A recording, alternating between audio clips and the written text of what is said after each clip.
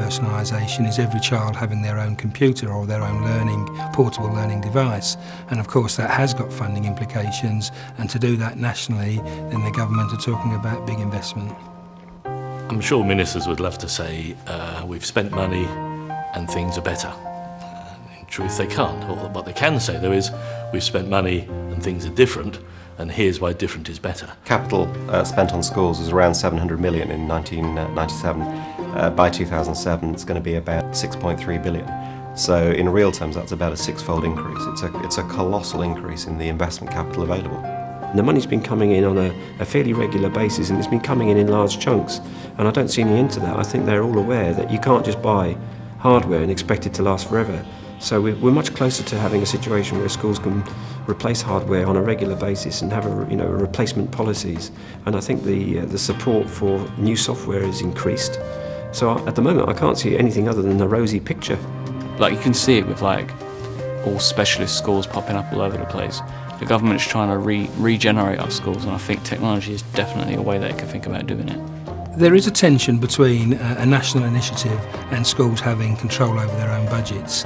Um, I think the issue for schools is we have, we have to look at national initiatives with our governing bodies, decide what's right for our schools and then take things forward from there. Central government can certainly help the uh, get strategies in place. They can provide adequate training for schools, they can provide time for these uh, initiatives to take seed and of course they can provide the necessary funding.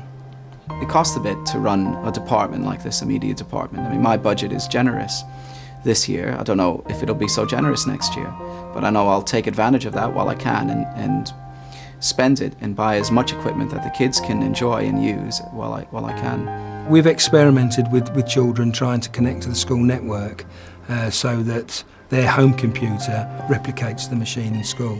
Now the technology is there and it works fine.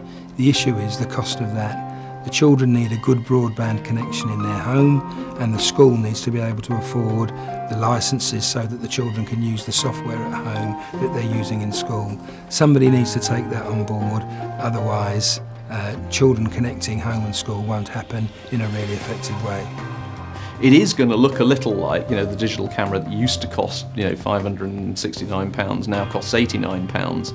And similarly you know the the thing that you needed to look at a piece of sort of moderately interactive flash based content used to require you know a 1500 quid desktop PC and now actually there's really no very good reason why you can't do it on a simple PDA or a small notebook, which costs you know a few hundred quid. Who knows what the future's going to be? None of us know.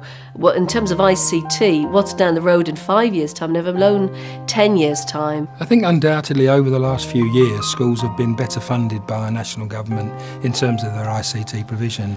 Uh, and we've got to the stage now where uh, we have enough ICT equipment in school for the levels of children that we've got. Learn how to fail, fail fast, and fail cheap. That's the key. Do it, make a mistake, get out, do the next one, and succeed. The government have been up front, they have put money in, uh, schools are well supported. Now is the time for them actually to build on that, actually put more funding in place, and we can drive through the personalised learning agenda.